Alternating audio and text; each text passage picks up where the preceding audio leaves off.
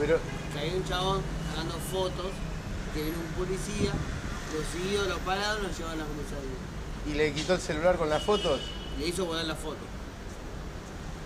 Pero las fotos eran sobre los policías, cómo estaban actuando Exactamente. en la... Exactamente. Mirá.